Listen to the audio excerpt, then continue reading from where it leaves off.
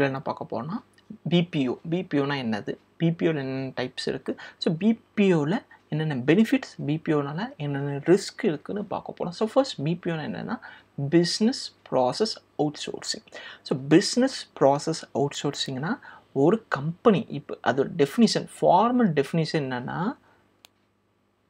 companies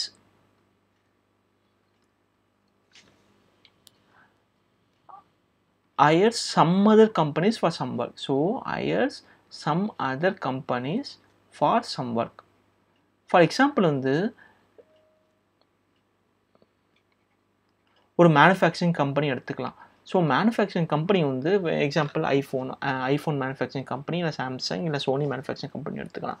அவங்க என்ன பண்ணுவாங்கன்னா ஃபோனையும் மேனுஃபேக்சர் பண்ணுவாங்க. ஸோ ஃபோன் மே ஐஃபோன் மேனுஃபேக்சர் இல்லை சாம்சங் ஃபோன் மேனுஃபேக்சர் பண்ணுறதுக்கு ரா மெட்டீரியல்ஸ் தேவைப்படும். Example capacitor battery and then extra extra so அதெல்லாமே அவங்க என்ன பண்ணுவாங்கன்னா சப்ளை செயின் மேனேஜ்மெண்ட்டுக்கு அவுட் சோர்ஸ் பண்ணிடுவாங்க. அந்த சப்ளை செயின் மேனேஜ்மெண்ட் என்ன பண்ணுவாங்கன்னா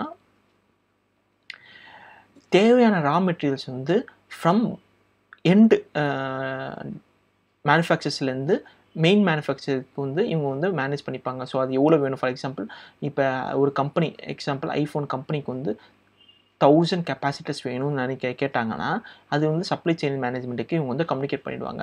இந்த சப்ளை செயின் மேனேஜ்மெண்ட் என்ன பண்ணுவாங்கன்னா அந்த தௌசண்ட் கெப்பாசிட்டிஸ் வந்து பையர்ஸ் கிட்ட வாங்கிட்டு ஸோ எக்ஸாம்பிள் இந்த பையர்ஸ் வந்து இந்த ஒரு எக்ஸ் பையர் வந்து ஒரு ஹண்ட்ரட் கெப்பாசிட்டர் வந்து விற்றாரு அண்ட் தென் ஒய் வந்து ஒரு நைன் ஹண்ட்ரட் வாங்கி நைன் ஹண்ட்ரட் வாங்கிட்டு டோட்டலாக தௌசண்ட் கெப்பாசிட்டர்ஸ் வந்து இந்த கெப்பாசிட்டி வந்து இந்த பையர்ஸ் கிட்ட வாங்கிட்டு அந்த கெப்பாசிட்டிஸை திரும்பி ஐஃபோன் கம்பெனிகிட்ட கொடுக்குறது வந்து இந்த சப்ளை செயின் மேனேஜ் பண்ணுவாங்க இது வந்து one of the use examples இந்த மாதிரி நிறைய எக்ஸாம்பிள்ஸ் இருக்குது இதில் வந்து மெயினாக வந்து இந்த பிபிஓ டைப்ஸில் என்ன பார்த்தோன்னா டைப்ஸில் கேட்டகரிஸ் என்னென்னா back end office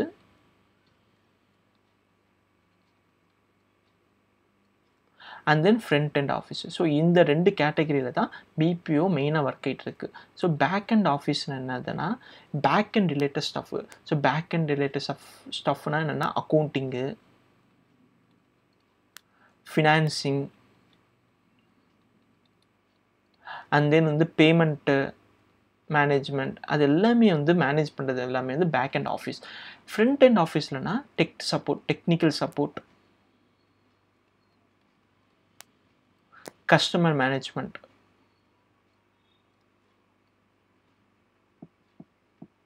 இது எல்லாமே பார்த்துக்கிறது வந்து ஃப்ரண்ட் அண்ட் ஆஃபீஸ் ஸோ பிபிஓவில் டூ கேட்டகரிஸ் ஆஃப் ஆஃபீஸஸ் இருக்கும். ஒன்று back end office and front end office நிறைய கம்பெனிஸ்க்கு இந்த ஃப்ரண்ட் அண்ட் ஆஃபீஸ் வந்து ரொம்ப ரொம்ப தேவைப்படுது. ஃபார் எக்ஸாம்பிள் எந்த ஒரு மேஜர் ஐடி கம்பெனிஸ் எடுத்தாலும் அவங்க வந்து டெக்னிக்கல் சப்போர்ட் இல்லைனா வந்து கஸ்டமர் சப்போர்ட் வந்து அவங்க பண்ணாமல் அந்த ஒர்க்கை வந்து பிபிஓக்கு வந்து அவுட் சோர்ஸ் பண்ணுவாங்க ஸோ உங்கள் ஃப்ரெண்ட்ஸோ இல்லை ரிலேட்டிவ்ஸோ யாருனாலும் ஐடி கம்பெனியில் ஒர்க் பண்ணிட்டு இருந்தாங்கன்னா உங்களுக்கு தெரிஞ்சிருக்கும். ஐடி சர்வீஸ் கம்பெனிஸில் மெயினாக தெரிஞ்சிருக்கு. என்னென்னா நான் வந்து இந்த கம்பெனிக்கு இந்த டெக்னிக்கல் சப்போர்ட் வந்து வேறு கம்பெனிக்கு வந்து எங்கள் கம்பெனி வந்து அவுட் சோர்ஸ் பண்ணியிருப்பாங்க சொல்லியிருப்பாங்க. ஸோ நிறைய பிபிஓ கம்பெனிஸ் வந்து சென்னையில் இருக்குது அதே மாதிரி இந்தியிலும் இந்தியாவிலும் இருக்குது ஏன்னா வந்து இங்கே வந்து அந்த கஸ்டமர் சப்போர்ட்லாம் பெ பெட்டர் அண்ட் பெஸ்ட்டாக கொடுக்கறதுனால வெளியே இருக்க கம்பெனிஸ் எல்லாமே வந்து அந்த ஒர்க்கை வந்து இந்தியாவில் அவுட் சோர்ஸ் பண்ணியிருக்காங்க. இன்னும் நிறைய ரீசன்ஸ் இருக்குது one of those main reason வந்து இது. அண்ட் தென் இப்போ வந்து டைப்ஸ் ஆஃப் அவுட் சோர்சிங் பார்ப்போம். ஸோ அவுட் சோர்சிங் டைப்ஸ் இப்போ வந்து நம்ம இப்போ பார்த்து இதுக்கு முன்னாடி பார்த்துருந்து டைப்ஸ் ஆஃப் ஆஃபீஸஸ் uh, பார்த்தோம். Back end office and front end office இப்போ types of outsourcing types types of outsourcing பார்க்க போகிறோம் ஃபர்ஸ்ட் வந்து offshore offshore outsourcing என்னென்னா இப்போ ஒரு கம்பெனி இருக்குது அந்த கம்பெனி பேர் வந்து எக்ஸ் அந்த கம்பெனி என்ன பண்ணியிருக்குன்னா இந்த கம்பெனி வந்து ஒரு சாஃப்ட்வேரோ இல்லை ஏதோ டெவலப் பண்ணியிருக்கு இதுக்கான டெக்னிக்கல் சப்போர்ட்டு இல்லை கஸ்டமர் சப்போர்ட்டு என்ன பண்ணுதுன்னா வேறு கண்ட்ரியில் இருக்கிற ஒரு கம்பெனிக்கு வந்து கொடுக்குது.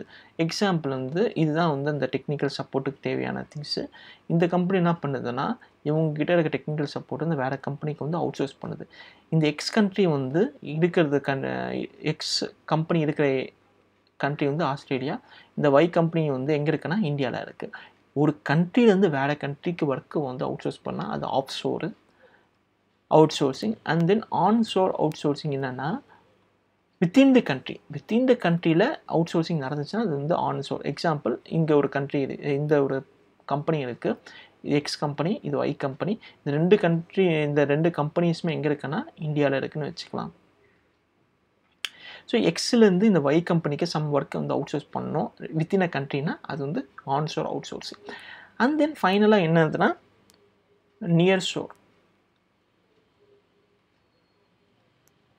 Near sure out சோர்ஸிங்னா neighbour countries for example இந்தியாவில் இருக்க இந்தியாவில் ஒரு கம்பெனியோட சம் ஒர்க்கை வந்து பாகிஸ்தானோ ஸ்ரீலங்காவோ பங்களாதேஷ்க்கோ அவுட் சோர்ஸ் பண்ணால் அது நியர்பை ஷோர் வந்து outsourcing nearshore outsourcing இது எல்லாமே types of outsourcing types outsourcing types இப்போ வந்து பெனிஃபிட்ஸ் ஆஃப் பிபிஓ பார்க்க போகிறோம் ஸோ பிபிஓட பெனிஃபிட்ஸ் பார்த்து பார்க்க போகிறோம் ஸோ ஒரு கம்பெனி வந்து சம் ஒர்க்கை வந்து வேறு கம்பெனிக்கு வந்து அவுட் சோர்ஸ் பண்ணால் என்னென்ன பெனிஃபிட்ஸ்னு பார்த்தோம்னா ஃபர்ஸ்ட் வந்து ஃபினான்ஷியல் பெனிஃபிட்ஸ் ஏன்னா இப்போ எக்ஸாம்பிள் நீங்கள் எடுத்துக்கோங்க. ஒரு கம்பெனி இருக்குது சாஃப்ட்வேர் கம்பெனி இருக்குது அந்த சாஃப்ட்வேர் கம்பெனியில் வந்து சாஃப்ட்வேர் டெவலப் பண்ணியிருக்காங்க டெவலப் பண்ணிட்டு டெஸ்ட்டும் பண்ணிட்டாங்க. இப்போ அதுக்கான டெக்னிக்கல் சப்போர்ட் அந்த டெக்னிக்கல் சப்போர்ட்டுக்கு வந்து ஒரு புது டீம் எடுத்துகிட்டு அவங்க ரெக்ரூட் பண்ணிவிட்டு அவங்க ட்ரெயின் பண்ணிவிட்டு அண்ட் தென் அவங்கள வந்து கஸ்டமர் சப்போர்ட்டுக்கு வந்து ஹேண்டில் பண்ணிவிட்டோன்னா அதுக்கு வந்து அந்த கம்பெனிக்கு வந்து நிறைய செலவு பண்ணும். அதே வந்து அந்த ஒர்க்கை வந்து வேறு கம்பெனிக்கு அவுட் சோர்ஸ் பண்ணிட்டோன்னா அந்த கம்பெனி வந்து அந்த ஒர்க்கை வந்து வரி பண்ண தேவையில்லை. ஸோ அதனால் வந்து அந்த கம்பெனிக்கு நிறைய அமௌண்ட்டு சேவ் பண்ணலாம். ஃபினான்ஷியலாக நல்ல பெனிஃபிட் இருக்கும். செகண்ட் பெனிஃபிட் வந்து காம்படிட்டர் அட்வான்டேஜ் காம்படிட்டர் அட்வான்டேஜ்னால் என்னதுன்னா competitor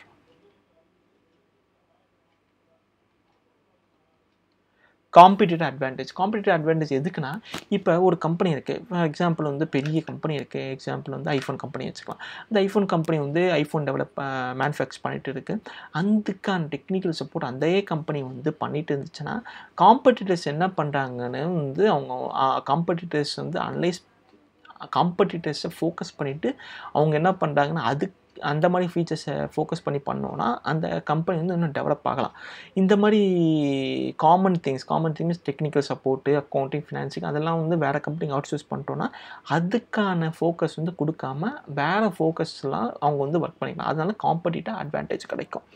And then higher quality higher quality என்னென்னா இப்போ நம்ம இந்த டெக்னிக்கல் சப்போர்ட்டு அந்த மாதிரி திங்க் எல்லாமே அவுட் சோர்ஸ் பண்ணுறதுனால அதில் இருக்கிற எக்ஸ்பர்டைஸ் அந்த சில கம்பெனிஸ் அந்த பிபிஓ கம்பெனிஸில் அதில் எக்ஸ்பர்டைஸாக இருப்பாங்க. அவங்க வந்து பெட்டர் சப்போர்ட் வந்து அது திங்ஸ் கொடுக்கறதுனால ஹையர் குவாலிட்டி ஸோ எல்லாருக்குமே பெனிஃபிட்டாக தான் இருக்கும். அவுட் சோர்ஸ் பண்ணுறதுனால இது எல்லாமே பெனிஃபிட்ஸ் ஆஃப் பிபிஓ இப்போ ரிஸ்க்ஸ் ஆஃப் பிபிஓ பார்க்க போகிறோம் ஸோ ஒரு கம்பெனி வந்து சம் ஒர்க்கை வந்து வேறு கம்பெனிக்கு வந்து uh, அவுட் சோர்ஸ் பண்ணுறதுனால என்ன ரிஸ்க் இருக்குதுன்னு பார்த்தோன்னா security breach so security breach வந்து ரொம்ப ரொம்ப ரொம்ப ரொம்ப ரொம்ப கிரிட்டிக்கலான ரிஸ்க்கு ஏன்னா வந்து ஃபார் எக்ஸாம்பிள் உங்கள் டேட்டா இருக்குது நீங்கள் வந்து ஒரு ட்ரஸ்டடாக வந்து ஒரு கம்பெனிக்கு வந்து உங்கள் டேட்டாலாம் கொடுத்துருக்கீங்க. உங்களோட personal information credit card information உங்களோட சேலரி எல்லாமே கொடுத்துருக்கீங்க. அந்த கம்பெனி வந்து வேறு கம்பெனி ட்ரஸ்ட் பண்ணிவிட்டு உங்களோட டேட்டாலாம் அந்த கம்பெனி கொடுத்துச்சுன்னா அந்த கம்பெனி வாங்கின கம்பெனி வந்து மிஸ்யூஸ் பண்ணிச்சுன்னா உங்கள் டேட்டா வந்து லீக் ஆகிட்டு அந்த கம்பெனி என்ன வேணால் பண்ணலாம். ஸோ அந்த மாதிரி திங்ஸ் எல்லாமே இருக்குது ரிஸ்க்ஸ் ஆஃப் பிபிஓவில் பட் இது வந்து ரொம்ப ரொம்ப ரொம்ப கம்மியாக தான் இப்போ இருக்குது ஸோ இது வந்து ஒரு டென் இயர்ஸ் முன்னாடி பார்த்தோன்னா நிறைய திங்ஸ் நடந்திருக்கு. செக்யூரிட்டி பிரீச்சஸ் நடந்திருக்கு. இப்போ அந்த மாதிரி திங்ஸ் நடக்கிறதில்ல நடந்துட்டு இருக்கு பட் ரொம்ப கம்மி. ஸோ அதனால் வந்து ஒரு சம் ஒர்க் வந்து அவுட் சோர்ஸ் பண்ணுறதுனால நிறைய பெனிஃபிட்ஸ் தான் இருக்குது தவிர நிறைய ரிஸ்க் வந்து இல்லை. ஸோ இதுதான் வந்து பிபிஓ பற்றி ஸோ